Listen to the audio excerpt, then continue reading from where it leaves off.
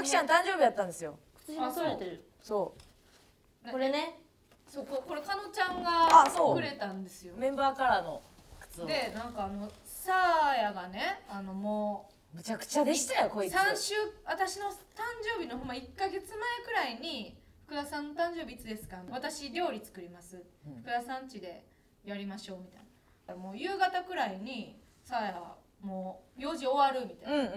んさあやさっき来て料理作っときますよって言って LINE でそういう話やったんですけど。えさあや料理作ってくれんねや。そう。みたいな感じだったよでもさあやから連絡ないからあなんかかのちゃんとも一緒に来るんかなと思って、なうん。で連絡めちゃくちゃしてもさ、うん。2人が電話しても LINE しても連絡つけなくてピンポンってなってインターホン見たらなんか男の人おったんですよ。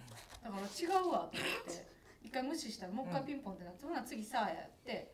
でなんか上がってきたらあの岡田さん連れてきてるんですよとなんか YouTuber の人連れてきてて、ベロベロに寄ってるんです全員ベロッベロやったなでそのベロベロに寄ってる岡田さんが鬱陶しすぎてまずそれを追い払うのにめっちゃ時間かかる。時間かかる。さあや以外を追い払うのにね。もうかのちゃんが友達ん家のお母さんみたいな。またまた来てまた来て。まだな。うんうん。ありがとうありがとうでやっと追い返して、で私はねもうさやの料理を食べながらゆっくり3人でお酒飲んでこうちょっとずつみんなでほろ酔いになりたかったんですけど、まずもう料理ないからウーバーイーツ私頼んで、そんでなんかさやベロベロやからとりあえずお湯渡してお湯飲む。でかのちゃんはなんかワクチン打ってきてたんですよ。そう2だから日目やったからお酒飲まれへんとか言ってなんか水でうん。なんか私だけワインでなんかお湯と水と乾杯してでなんか11時半くらいになんかかのちゃんが私まだご飯食べてるのにケーキ出してきて、なんか多分ワクチン効いてきたから早く帰りたくて巻いていやそれはもうその日に行っただけ褒めてよ。いや。断ってもよかったからな。滞在時間2時間で帰って、でなんかサーヤも別におったらええのに帰ってで2人なんか私まだご飯も食べてて目の前にケーキあってうわ帰ったと思ってよう考えたら私がおごってるんですよウーバーイーツ。料理も作ってもらえず。確かにな。でサーヤはもうひどかったからもうベロベロで来て「この部屋の中にマイバスケットあります?」って。言ってないよサーヤ。そのやっぱ料理は絶対作りたくて。まだ残ってたよな。そうなんです。でですけどそこまでにそう。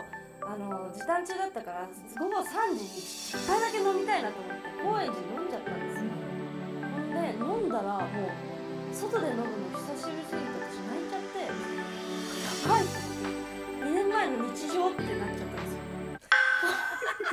失われた、はい。うん。本来おは酒。これがずっとできたはずなのにとかでバーってなんかどんどんワンカップとか飲んじゃって気づいたらベロベロになってて本当はマイバスに行っていっぱい食材買って向かうっていう流れだったんですけどそれだけマイバスケマイバスケットマイバスケットってなってたけどベロベロでで2人一緒に飲んでた子が「もうじゃあ送ってく送ってく」みたいになって行ってなんとか着いたけどあれ？あマイバス行ってないっていう。ので多分マイバスだけは残ってマイバスがすごく残ってたんです自分の中で。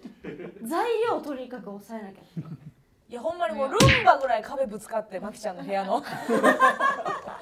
この部屋の中にマイバスケットありますほんまにさなんかないよ本当に申し訳なかったどんだあれはけどんだけ仲いい人どんだけ好きな人でもベロベロだって鬱陶しいねシラフの時にベロベロで喋られるの鬱陶しいねんな。鬱陶しい。どんだけ仲良くても。いや本当申し訳ない。次の日すごい興ざめしました自分で。それほんでさあの LINE も会話できてなかった私な、はい。ケーキ屋でケーキ買いに行ったのマキちゃんの、はいはほんならなんかよかってんけどなんかあんまいまいちパッとせえへんかってんはい。で他のケーキ屋回りたいなと思ったけど、はい。ちょっと時間なかった仕事で、はい。そその時。だからサーヤに「ごめんサーヤあのちょっとケーキ頼んでいい?」ってはいはい。言ったら「私が頼んでいい?」って言ってると思って「はいお願いします」って来て「いやもうこいつ会話できないな」じゃじゃなくてなんだけ。ど もう頼んでいい？っていう意味だと思ったんですよ。あそうそう。ペロペロだったんで多分。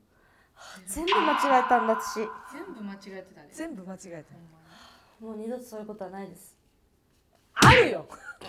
あんたはあるよ。信じてないで。ちょっと同じペースで酔いたいですね今度は。いやそうやでほんまに。ちょっと羨ましいよなでもあそこまで。うん。酔っ払えんの。ほんまにハメ外してたな。すいませんでしダメよ。ダメダメ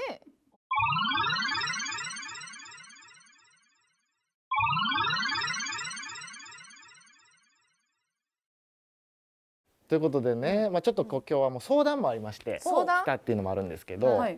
まあ、やっぱこう映画できても、うん。やっぱ多くの人に見てもらうことが大事じゃないですか。そうですね。それちょっと今 PR 動画を作ってるんですけど PR 動画がまだ完成してなくて、うん。その埋まってない部分をちょっと皆さんに埋めていただきたいなと思って、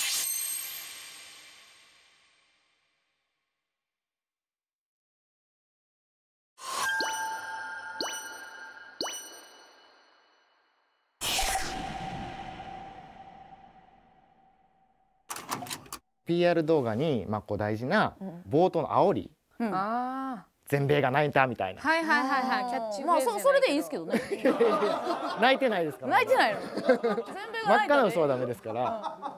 ちなみにですけども、カメラ止めるなとかはどういうあキャッチコピキャーッチコピーやったんですか？カメラを止めるのは、最後まで席を立つな。この映画は二度始まるああそうやそうや。覚えてる覚えてる、はい。めっちゃ覚えてる。めっちゃいいな。はいえでもそれで言ったら4度くらい始まりません？これ。確かに。分かりそうで分からない、うん。どういうことってなるけど見終わったとなるほどなって思う塩梅ががなんどいいんだ。いい気がしますね。全米が泣いたじゃないですけど、はい。福田が濡れたっていうのですか？最低。最悪。すげえな知らんしってなるんですかそのこれキャッチコピーでもいいですし、ん。よくあるのはその映画祭の受賞歴みたいなカンヌ映画祭受賞みたいなこととかもあります。だって一画面にすごいパーなんとか賞なんとか賞ってやる映画もありますもんね。そうですそうです。めっちゃアホみたいにさ何も言わんとさ一等賞っていうのは何の賞かわからんけど一等賞受賞。何の賞かわからんけど一等賞。第一位 いいいいいいい金賞あいいね。いいね優勝。優勝。いいね優勝。そうですね。こっちこっちからしたら一等賞だったよという、ん嘘ではないですもんね。ですよね。下めっちゃ小文字でなんか適当な文章バーみたいなのあったらそれっぽく見えそう、うん。福田が濡れたっていうのもなんずっといっぱい福田が濡れた福田が濡れたっていうのをめっちゃ小文字にしたやつギュッっていうのを置いて。怖怪文やん。怪文。みたいなかこっちの説明をもうすごい気持ち感情だけで言ってるやんっていう。できた！嬉しい！見て！カンパケお願いお願い！カンパケカンパケ。納品終了！あとやっぱ上田監督ももうちょいバンバン出した方がいいですよね。うんそうですね。確かにカメラを止めるのは第2弾はダメですか？それはちょっと各所に確認が必要ですね。一日生きたワニとかってダメですいやいやいやいや。それももっと大きいところに確認が必要です。